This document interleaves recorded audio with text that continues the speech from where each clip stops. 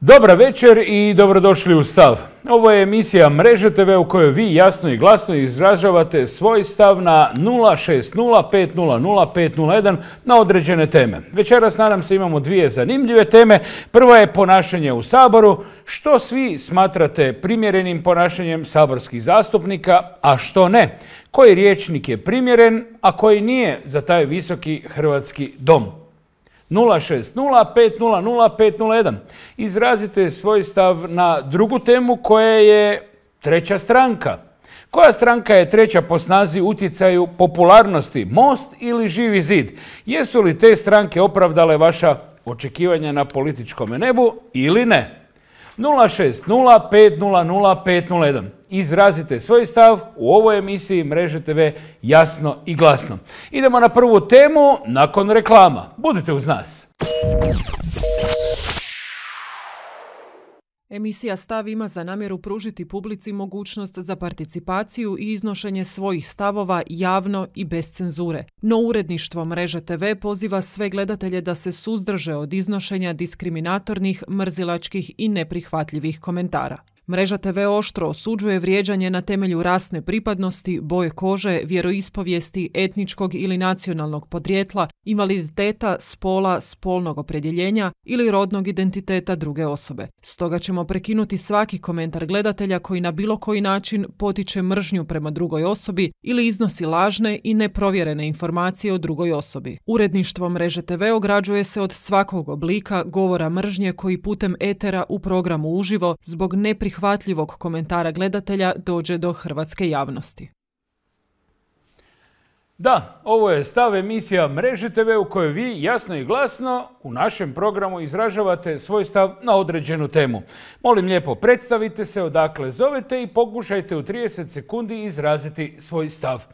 Ponašanje u Saboru, u tom visokom zastupničkom domu, što smatrate primjerenim ponašanjem naših saborskih zastupnika, a što ne? Koji riječnik je primjeren, a koji nije za sabor? Tko vam je simpa, tko nije od zastupnika? Jesu li zastupnici pravi predstavnici svoga naroda ili stranaka? Što ste čuli u sabornici i to potpisujete kao svoj stav. 060 Dobra večer. Dobro večer. Ovdje je Ante Čejović, e, inače hrvatski proljećar od e, član predsjedništva 81. godine da se izjasnim e, što se tiče našeg Hrvatskog sabora. Slušamo Ante. Ja sam konačno sretan da smo ipak dobili koliko toliko ne samo kontemplativnog premijera, nek smo dobili kontemplativnu predsjednicu. A isto tako ova vlada koaliciona sa Mostom i sa ovim manjinama, e, zahvaljujući dosadašnjem ponašanju, sam ugodno iznenađen. Ali nisam iznenađen ne što se tiče e, nekih e, kandidata koji kontinuirano istrčavaju od SDP-a i kontriraju, ne na osnovi čvrstih argumenata, nego na osnovi ideoloških razlika. Ali što vi smatrate primjerenim ponašanjem jednog saborskog zastupnika? E, recimo, e, vidio sam na televiziji da e, jedan, od, jedan od zastupnika na himnu Republike Hrvatske se nije ustao. Pa to nije u redu, jer gledajte, ako je on predstavnik Hrvatskog sabora, a ne poštiva znači himnu, onda je on zalutao u sabor.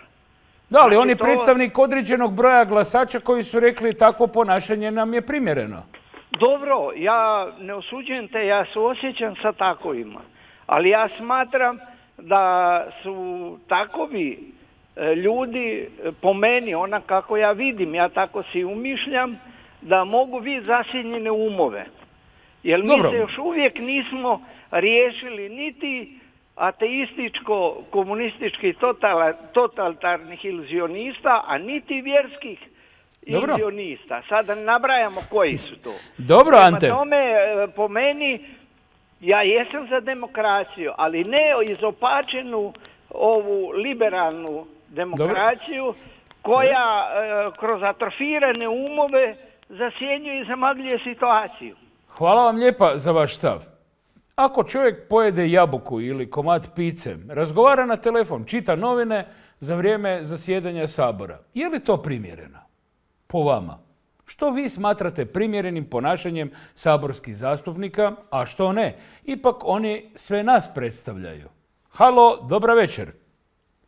060 500 501. Halo? U Saboru, kažu, nemaju kodeks lijepog ponašanja, ali zato od svakog posjetitelja očekuju da će i ponašanjem i odjevanjem poštivati tu instituciju, kao i oni koji tamo rade.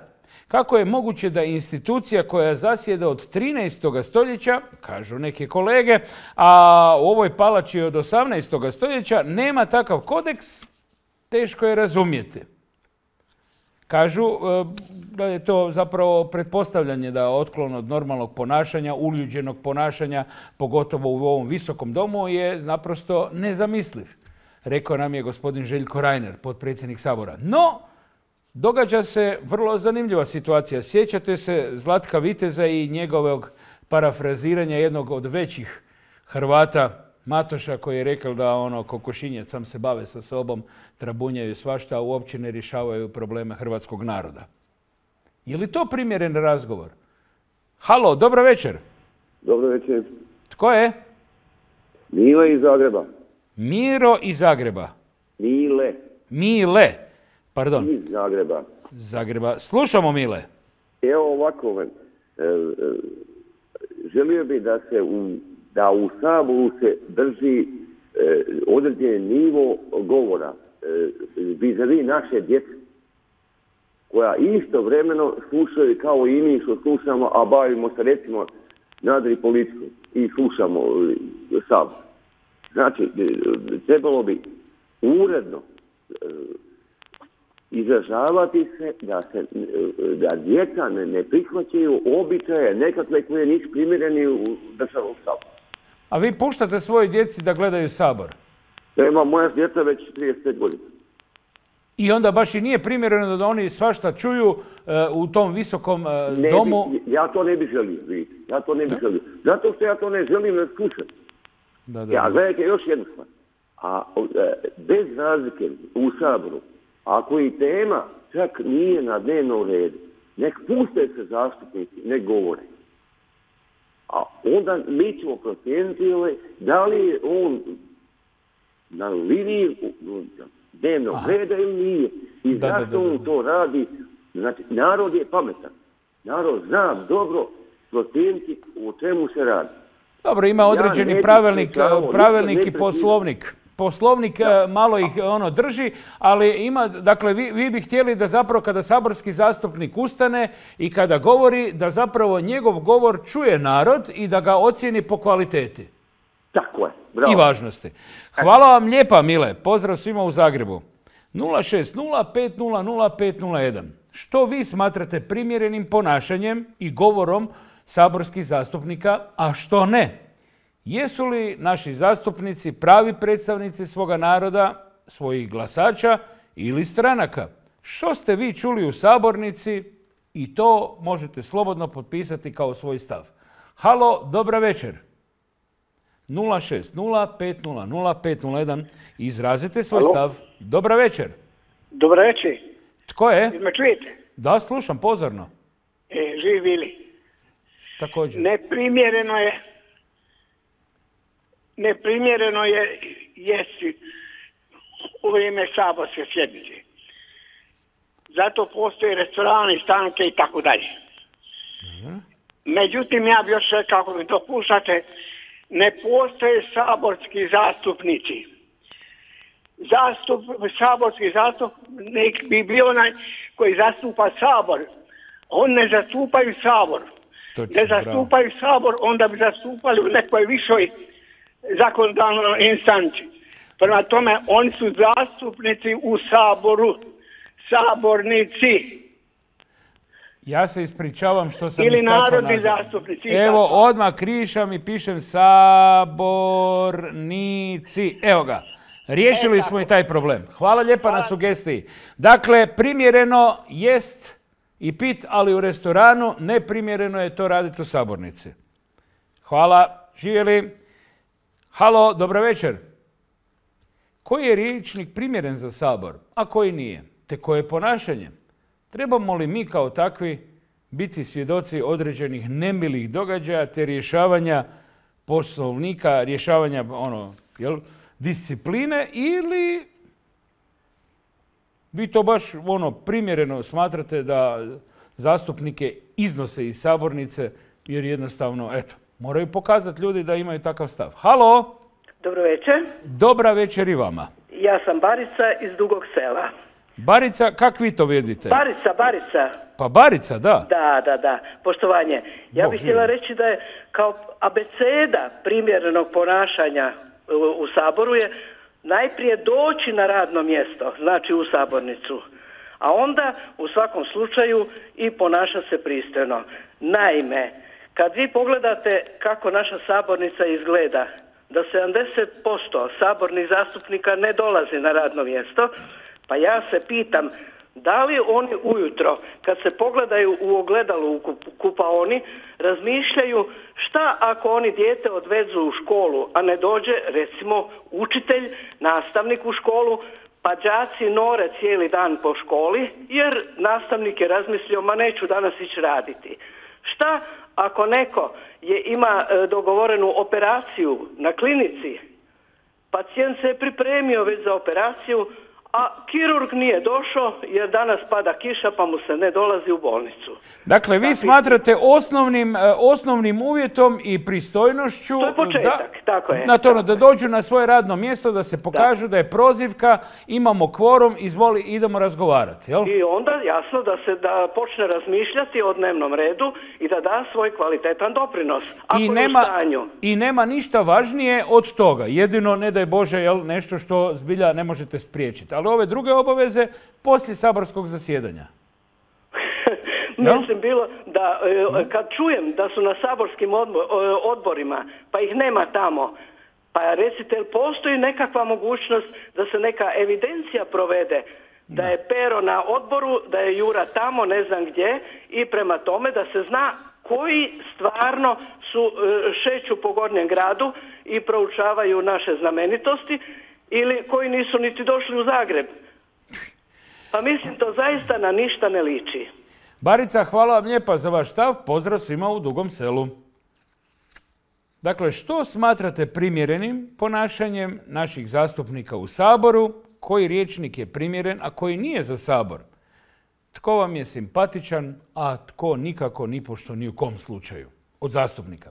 Jesu li zastupnici pravi predstavnici svoga naroda, glasača ili samo stranaka? Što ste čuli u sabornici i to potpisujete kao svoj stav. Halo, dobra večer. 060 500 501. Izrazite svoj stav. Dobro večer. Dobro večer. Ja bih molio stišati televizor. Alo. Jesmo? E, dakle, kada o, idete zvati televiziju ili radio ili bilo koji medij, molim onda stišati prijamnik kod kuće i onda će biti puno lakše nama osigurati da se vi čujete u našem programu. Dobro večer. Dobro večer. Tko je? Ivan iz Ploča. Ivane, slušamo vas. Evo ovako, pitanje eh, primjerenosti ili neprimjerenosti. Točno. E, nužno je regulirati poslovnikom o radu Sabora. E, mi smo svjedoci svakodnevno da se desetine ponašanja mogu okvalificirati kao neprimjereno od, od strane sabornika kao što su sjedi kao u birci, izvali se, čita novine, telefonira, jede, namigi, namiguje, dobacuje, preskakuje iz klupe u klupu, hoda i tako dalje i tako dalje. To su sve ponašanja koja imaju čisti atribut neprimjerenosti. Prema tome, da se ne bi nadmudrivali što je primjereno, što neprimjereno, izvolite ljudi moji pa regulirajte to pod zakonskim aktima i sankcionirati ako se tako suprotno ponaša. Ivane, nema drugoga načina. Ivane, nema. to, to vama jako smeta. Ma smeta svakome, ne samo meni, nego i, i starom i mladom. To je, e, e, ljudi moji, ne možeš sada mlađega nekoga postaviti, o, pa ajdemo malo gledat sabor. Pa nema šanse. Pa babe se okreću u glavu, šta je ovo, ljudi moji, pa nije ovako bilo prije i tako dalje i tako dalje. To demokracija je demokracija, ali anarhija je anarhija. Jel Hvala. me razumijete što govorim? Apsolutno. Hvala vam lijepa Ivane za vaš stav. Pozdrav svima u pločama. 060500501. Da, mnogi su radili sve i svašta u Saboru, no je li to, što kažu, ono, jednostavno loš kućni odgoj ili je to zapravo izražavanje političkog stava? Halo, dobro večer. Da, dobar večer. Tko je? Poštovanje, Živi li? zovem iz Karlovca Stjepan. Moram vas lijepo, gospodin Vicko. Strašno vas cijenim, neizmjerno. Ali moram vas samo jednu stvar. Moja posljednja želja u životu, da u Saboru čujem govor gospode. Da. Pa je, li ima gospode u Saboru? Ili ima nekoga Hvala od saborskih zastupnika ko- koji bi Hvala. ono... Do, hvala lijepa i vama, živjeli, pozdrav svima u Karlovcu. Da, Stjepan kaže, htio bi čuti govor gospode. Znači pravi, uljuđeni, ili dama ili gospodin. Ali tko je, tko je pravi gospodin, tko je prava dama u Saboru? Dobra večer. Halo, Dobra večer. halo, jesam na, na liniji? Dobra večer, gospođo. E, dobro večer. Eto, e, ovdje je jedna Maja, Maja iz Samobora.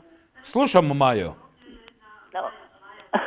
Ovako, htjela bi reći kao prvo je, i ja gledam našu prenose iz Samobora kao jednu običnu lakrdiju. E, Gledate, gledate iz Sabora ili iz Samobora?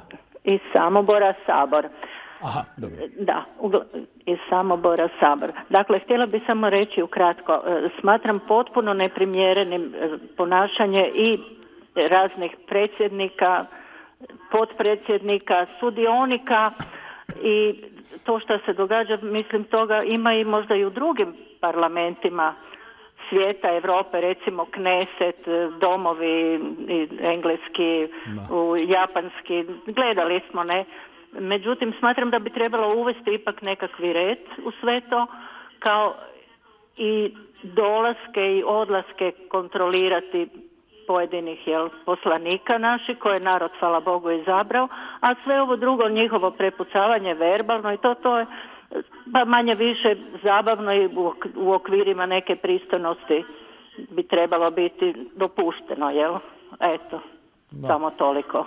Hvala lijepa, Maja. Pozdrav svima u Samoboru.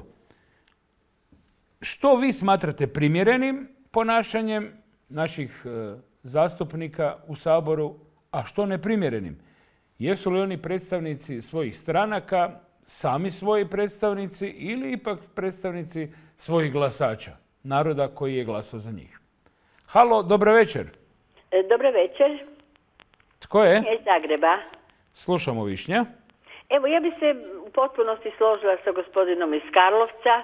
Mislim da nećemo niti on, niti ja doživjeti da će biti dame i gospoda u Saboru. Prošlo svršeno vrijeme. E, da, tako, gospodin Vicko, to je moj stav, to vidimo. Zapravo i oni koji možda misle da su gospoda, znate, e, sjediti među nekim ljudima koji se ponašaju kako se ponašaju, onda niti ti više nisi vrednovan kao gospodin ili kao, kao dama.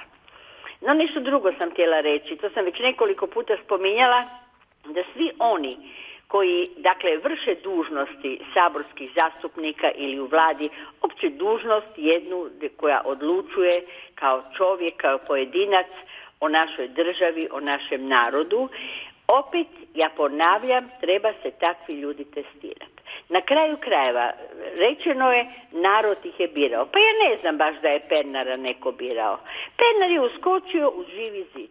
Ne znam da li onog njegovog kolegu Bunjac, kak se zove, nemam pojma, E, on je uskočio umjesto e, e, one gospođe, kak se zove, iz, iz, iz Međimorja, žena od gospodina ovoga Ivana, Ivana Čehov, kak se zove, bogati. No, pomognite mi reći. Ja ne znam za... Ja... Trebala, biti, trebala je biti u Saboru Dobro. i ona je jednostavno odustala i njemu je dala mjesto da on da on lepo bude. Ja ne znam, nikad u životu tog čovjeka nisam ni vidjela. Gle, on se isto počeo ponašati, drma, praši kak hoće, snima, mislim kakvo je to ponašanje u saboru snimat. I onda se ljuti kad mu neko uzme, uzme mobitel. E, znate, sve u svemu situacija je katastrofična, zabrinjavajuća, zaista je zabrinjavajuća i kam to vodi, to samo anđeli znaju. I do kad će to trajati, ja ne znam. Nekad u početku još bilo nekako smireno, da su razmišljali kaj trebaju drpiti u ovoj zemlji, pa su bili zaposleni e, o tome, pa se nisu svadili. Sad su se počeli grdo svaditi, a to nije dobro. To dobro. nije dobro. Hvala vam lijepa, Višnja, za vaš stav. Je li snimanje mobitelom saborske rasprave primjereno, neprimjereno? Jesti u sabornici, sjediti kao u birti, što je rekao jedan gledatelj, čitati novine, diskutirati, javno, jasno i glasno dovikivati, prekidati kolegu. Halo, dobro večer. Halo, dobar večer. Tko je? Krešo iz Rešetara. Krešo, slušamo. Nije samo lijepo ponašanje u pitanju, nego u pitanju je i šta ti ljudi rade. Konkretno, ja imam e, jedan slučaj gdje sam se obratio na te ljude između ostaloga gospodin Leko kad je bio u Saboru glavni, Antičević, gospođa, pa onda Grubišić, pa Kregar. Jedino sam dobio u tom dopisu što sam ja slao jer sam imao problem, neki tražio sam mišljenje Sabor, niti su odgovorili niko osim gospodina Leke. Znači nije bitno samo ponašanje, on treba i raditi nešto. Oni su naši predstavnici, oni su tamo da radi nas, a ne da mi njih gledamo jesu oni lijepi ili nisu lijepi. I su dotjerani ili ne. I Dobro je, sve u svemu ide u redu. Dakle, vi smatrate da bi oni trebali zapravo i odgovarati nama na naša direktna pitanja? Pa to, zato je on tamo, li? ja ne mogu pojedinačno njih, ja sam poslao dopis i čekao sam čekao sam da dobijem od njih pomoć, li? Ja tražim, to je rad, to je rad i ponašanje. ne znamo koliko ste shvatili šta želim. Da, da, da, sve, sve mi je jasno. Hvala da. lijepa, Krešo, pozdrav svima u rešetarima. Halo, dobro večer. 060500501. Koji je vaš stav prema ponašanju, primjerenom ili neprimjerenom ponašanju naših zastupnika u Hrvatskom državnom saboru? Zapravo u Hrvatskom saboru je službeno, tako nije državno još. Da. Što ste vi čuli u sabornici od naših zastupnika, a da to možete potpisati kao svoj stav? Halo, dobra večer. Halo, dobra večer. Dobra večer i vama. Čujte, ovdje je Mirko iz Velike Gorce. Mirko, slušamo vas. E, gospodine, ovako, ovi naši zastupnici, to su najveći paraziti. Oni ništa ne rade, samo gledaju šta će da ukradu. To treba sve u zatvore na goli otok. Ali Mirko, bili su parlamentarni izbori. Mi smo i glasali za te ljude. Dali smo svoj glas. Nema, nemamo mi koga da izabedno kad su oni svi isti. Tu treba od njih 300 izabrati 50 i, i to je to. Ja sam u Švicarskoj bio 43 godine. Nemate na kogulo povluka. Tamo se zna ko je političar, ko nije. I tamo političari idu na posao biciklom, vlakom, a tramvajom, a naša svaki šugavac ima šofera i auto koji plaća ovi jadni ljudi od poreza. Stid je bilo. Hvala vam, su paraziti. hvala vam lijepa Mirko, pozdrav svima u Velikoj Gorici. Dobro večer. 060 500 501. Da čujemo i vaš stav. Što smatrate primjerenim ponašanjem naših zastupnika u Saboru, a što ne? Dobro večer. Dobro večer, jesam ja u, Eteru. Jeste, vi ste u Eteru. Zapravo ste kod sebe kući, ali ste na telefonskoj liniji. Hvala lijepo, dobar večer, drago iz Zdenaca Brdovički. Slušamo. E, e, greška je našeg cijelog izbornog sistema u tome što nismo primijenili slučaj Amerike. Tr- Ti prvo moraš imati osiguran svoj financijski i ekonomski život, pa tek onda možeš u Sabor. Mi danas imamo u Saboru većinu onih koji su došli samo zbog toga da sebi osiguraju svoju bolju budućnost, a za narod ih nimalo nije briga. 80% njih nisu zaslužili na- ni da budu smetlari u nekom gradu, a kamoli saborski zastupnik. Aj, Jer ovo što oni rade u Saboru, to je živa sramota hrvatskog naroda. Sram ih bilo kako se vladaju i kako su uopće došli do tih pozicija putem, da ne kažem, uvlačenja u tužu guzicu. Oprostite na Ništa, izrazu, ništa. ali to je moj Hvala, stav. vam- hvala vam lijepa za vaš stav. Molio bih sve zastupnike u Saboru da pogledaju večerašnju emisiju u reprizi sutra ujutro ili na www.mreza.tv pa da čujete koji je stav našeg gledateljstva prema vama i vašem ponašanju. Koja stranka je treća po snazi, utjecaju popularnosti, Most ili Živi zid? Tko je po vama važan politički igrač na hrvatskoj sceni, čiji glas i utjecaji su bitni? Sljedeća je tema, nakon reklama. Budite uz nas. Emisija Stav ima za namjeru pružiti publici mogućnost za participaciju i iznošenje svojih stavova javno i bez cenzure. No uredništvo Mreže TV poziva sve gledatelje da se suzdrže od iznošenja diskriminatornih, mrzilačkih i neprihvatljivih komentara. Mreža TV oštro osuđuje vrijeđanje na temelju rasne pripadnosti, boje kože, vjeroispovijesti, etničkog ili nacionalnog podrijetla, invaliditeta, spola, spolnog opredjeljenja ili rodnog identiteta druge osobe. Stoga ćemo prekinuti svaki komentar gledatelja koji na bilo koji način potiče mržnju prema drugoj osobi ili iznosi lažne i neprovjerene informacije o drugoj osobi. Uredništvo Mreže TV ograđuje se od svakog oblika govora mržnje koji putem etera u programu uživo zbog neprihvatljivog komentara gledatelja dođe do hrvatske javnosti. Dobrodošli natrag. Da, ovo je stav emisija Mreži TV u kojoj vi jasno i glasno izražavate svoje stavove u našem programu na 060 500 501. Večerašnja druga tema, treća stranka. Koja je stranka treća po snazi? Utjecaju, popularnosti, Most ili Živi zid? Jesu li te stranke opravdale vaša očekivanja ili ne? Tko je po vama važan politički igrač na, na hrvatskoj političkoj sceni? Čiji glas i utjecaj su bitni? Treba li hrvatskoj političkoj sceni puno stranaka ili samo dvije, tri velike i jake? Imamo HDZ, imamo SDP i koja je treća stranka? Tko vas je razočarao tako da mu više ne bi nikada ni pošto ni u kom slučaju dali glas? 060 500 501. Da čujemo vaš stav. Halo, dobra večer.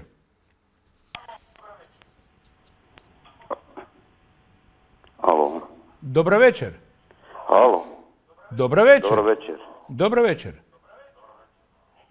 O, o, jes, ja sam ovi na redu, jesam? Jeste? Ovako, no Sabor, to, to, je, to je veliko za nas razočaranje kako se podnašaju.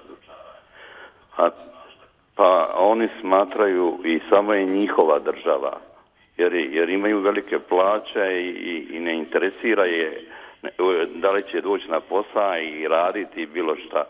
A ne da su tako sabornici. Već su takvi i, i lokalni, lokalni naših općinari koji smatraju kad su u općini na vlasti da je njihova cijela Hrvatska. A mi kad se dođemo vratiti njima, nas, nas ništa, mene je koštalo puno. Ja sam, ja sam, ja sam za vrijeme Jugoslavije sam napravio e, zbog vlasti i suda drugu kuću, mora sam napraviti drugu kuću, što nisam htio. Mislim, to za mene prije niti je vlast, ni sada. Isti su. I, i razočaran sam u, cijeli, u cijelu našu politiku i u cijeli taj naš narod. Inače sam živio 45 godina vani. Ja sam zadovoljan, super. Došao sam sam tu penziju.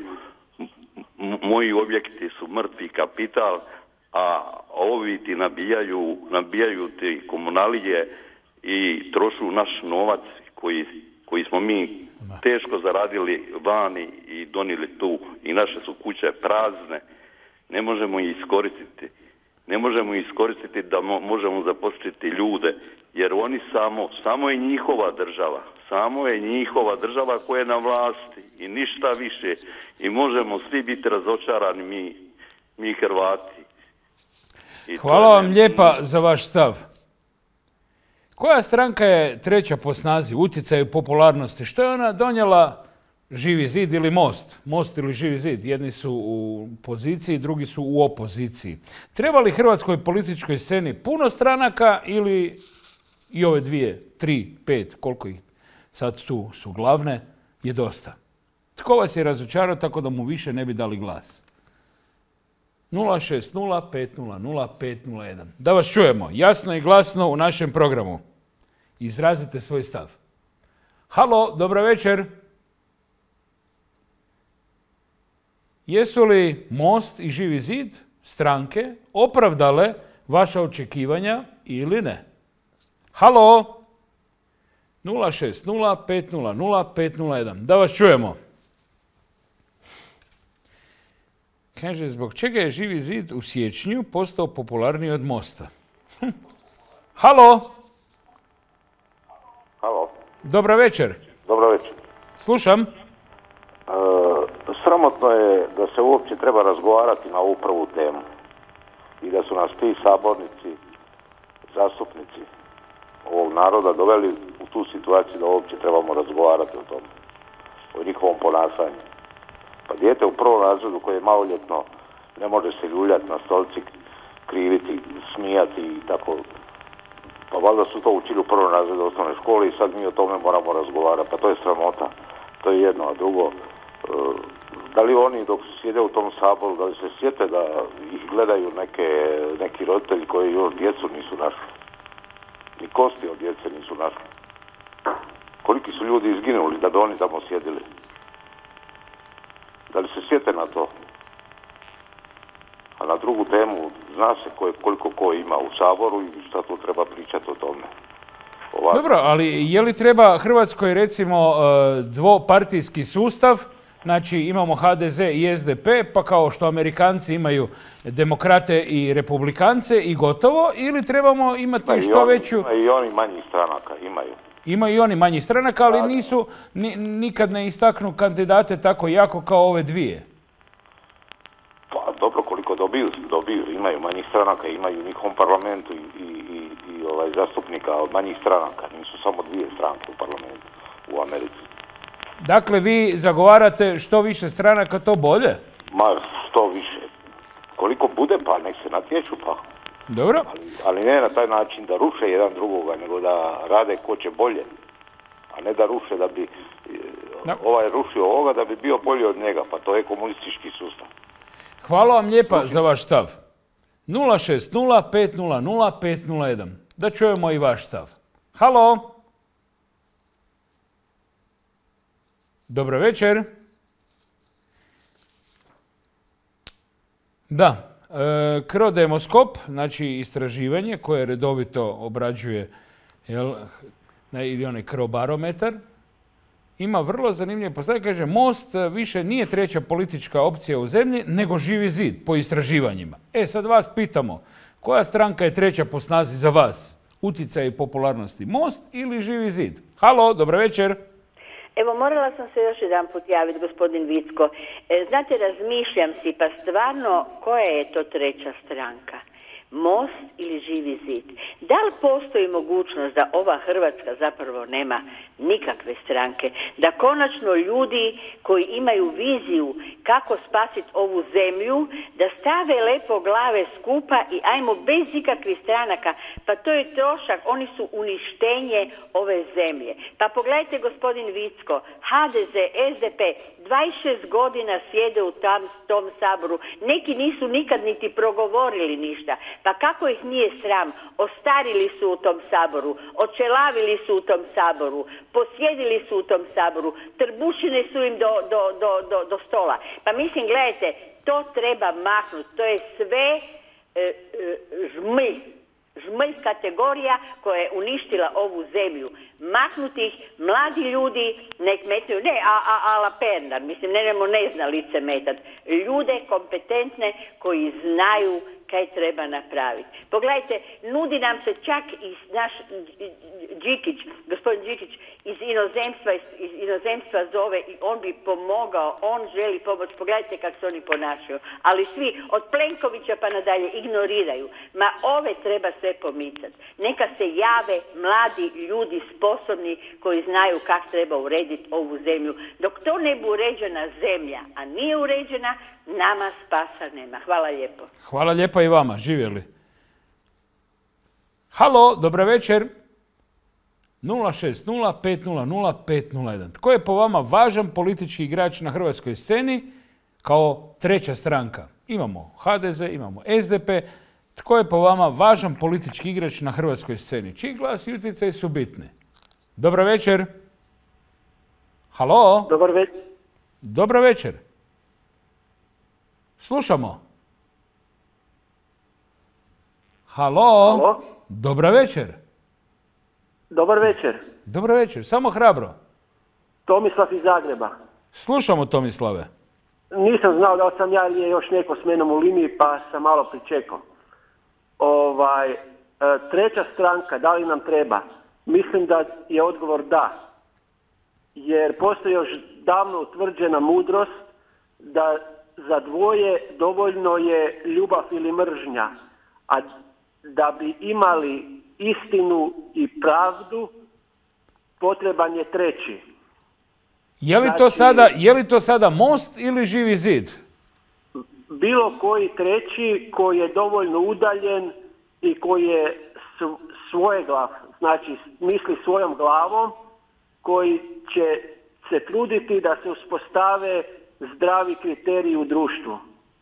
Dakle, da ne budu samo navijači HDZ-a i SDP-a, nego da doista ljudi počnu što više misliti svojom glavom i glasati za stvarno kvalitetne pojedince i kvalitetne stranke.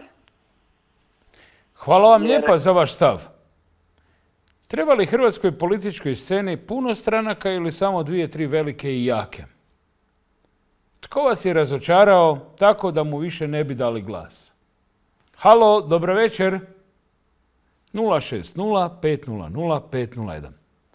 Izrazite svoj stav o političkoj situaciji. Koja stranka je treća po snazi utjecaja popularnosti u Hrvatskoj? Most ili Živi zid? Jesu li te stranke opravdale vaša očekivanja ili ne? Halo, dobro večer. Alo, Dobra večer. dobra večer. Slušam. Iz, iz Đakova. Slušamo. Pa jedva vas dobio. 20 puta sam zvao. Gužva je. E, ovako, jedna je gospođa, jedno je gospođi Petrov, to je prva tema, oduzeo riječ. Ona je iz Petrijevaca i mislim da je pre- prezime Petrijevčanin. A držala se teme. I onda ona rekla da u Saboru nema ni pristojnih ljudi da ne bi nema ni pr- da ima ona više prstiju nego što ima pristojnih ljudi. I bila je u pravu, jer se ona držala teme. A što se tiče druge teme, treća Dobro. stranka, pa mi imamo stranaka kako pljeve. Kako vi to ne znate? Kako možete postaviti tako pitanje? Postavljam, e, stranaka koje-. Koja je stranka treća po snazi, utjecaju i popularnosti? Most ili Živi zid? Ma to su sve stranke nikakve. Nikakve. To su sve nikakve. Pa nama, nama treba još samo e, šešelj u, u, u Saboru. A imamo Pernara. On je gori od šešelja deset puta. Eto toliko o našem Saboru. Hvala vam lijepa na vašem stavu. Tko je po vama važan politički igrač na hrvatskoj sceni pored ove dva velika tabora HDZ-a i SDP-a? Je li to živi zid, što kažu ankete, ili je to most koji sudjeluje u poziciji, koji sudjeluje u vlasti? 060 500 501. Halo? Mislim da ovaj vikend imaju stranački sabor i izbor najviših stranačkih tijela Mosta. To će biti opet zanimljivo vidjeti kako će kod njih to proći. Hoće li zadržati sadašnje vodstvo ili će ga promijeniti. 060 500 501. Da vas čujemo. Halo, dobro večer. Dobar večer. Tko je? E, e, Marko iz Zagreba. Slušamo, Marko. E, Gledajte, ja malo sam razmišlja o tim strankama i mislim da je treća stranka u Hrvatskoj ovaj, stranka e, Hercegovaca. Oni bi trebali imati, oni bi trebali imati svoj, e, svoj klub zastupnika A što se tiče Mosta i što se tiče HDZ ovoga živog zida, mislim da je da je Most juda u Hrvatskoj državi. Znači, vi ste razočarani potpuno. Potpuno sam razočaran. Po- Inače sam skroz razočaran e, u kompletne saborske zastupnike. Jer tu nema ni tolerancije, tu nema ni uvažavanja, tu nema ništa. Oni, oni ne gledaju, da, oni ne shvaćaju da njih gleda milion ljudi. I to je katastrofa. I gledajte, prije, prije, prije one Jugoslavije, stare, onda saborski zastupnik u Hrvatskom saboru je bio uvažan čovjek koji je ima svoje bogatstvo u Zagrebu, koji ima svoju kuću u Zagrebu, koji nije, drža, koji nije živio na trošak Hrv- Hrvatske ondašnje države, nego je on bio, njemu bio ponos što su ga e, ljudi izabrali da bude saborski zastupnik. A danas su to sami samo uhljebi. Hvala vam lijepa, Marko, za vaš stav. Halo, dobra večer. 060 500 501. Tko vas je razočarao tako da mu više ne bi dali glas? Tko je potrošio sve ono kredite kod vas? Halo, dobra večer. 0605. Halo, slušam. Dobro večer. Dobar večer. Dobro večer. Evo, razočarali su me HDZ i SDP, a kao treća stranka mislim da bi bio najbolji živi zid. E,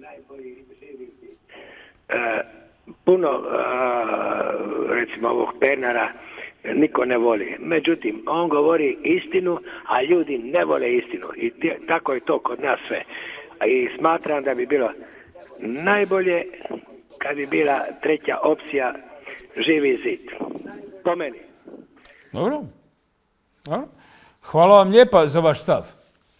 Halo, dobra večer. 060 500 501. Zbog čega je Živi zid postao popularniji od Mosta? Što je to Mostu odnijelo to zanimljivo povjerenje birača? Halo, dobra večer. 060 500 501. Izrazite svoj stav u našem programu. Koja je stranka treća po snazi, utjecaju i popularnosti u Hrvatskoj? Most ili Živi zid? Ankete kažu Živi zid, no Most je u poziciji. u vlasti. Dobro večer. Dobar večer. Slušam. E, jesam, jesam, da. Jeste, vi ste, da. O, ovako, ovaj, zovem iz Pule. Da. I ja ne krivim ove koji ne dođu, koji odoše iz Sabora. Ne krivim vlasti, vlasti koji im to dozvole. Vi smatrate da bi im oni kad jedan put uđu zatvoriti gotovo, ne dat van? Ne, nego im ne dat plaću koji ne će da sjede u Saboru. I šta im je slabo od silne plaće. Dobro. A recite mi treća politička stranka koja bi trebala biti u Hrvatskoj osim HDZ-a i SDP-a? Pa šta ja znam. Pa nek bude Mostova. Nek bude Mostova. Dobro. Pa da, već kad, kad je... Kad je već tu, pa zašto onda ne bi, jel?